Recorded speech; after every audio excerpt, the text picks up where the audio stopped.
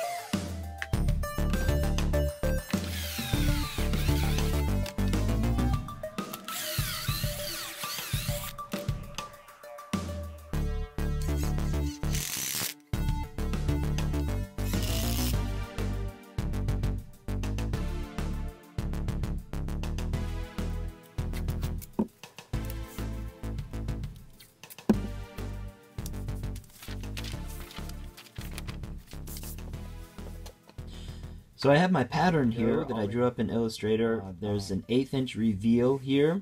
Uh, so that's where I'm going to make my cut and then I'll clean up both the inside and the outside of the of the gap here on the sander. We're going to put some spray glue on this thing, glue it down, and then cut it out on the scroll saw.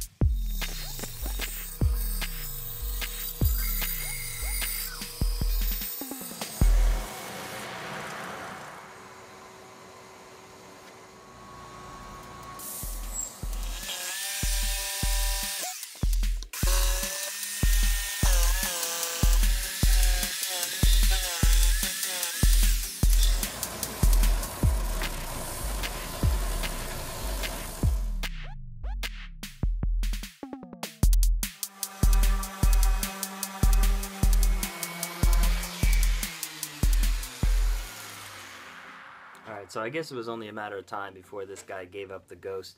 I've had this DeWalt Random Orbit for about three years, and it's been it's been good. You know, it's a little bit um, a little bit harsh as far as vibrations and noise go. Uh, so that just finally died on me, and uh, just replaced it with this guy. This is a Mirka Deros sander. This thing is sweet.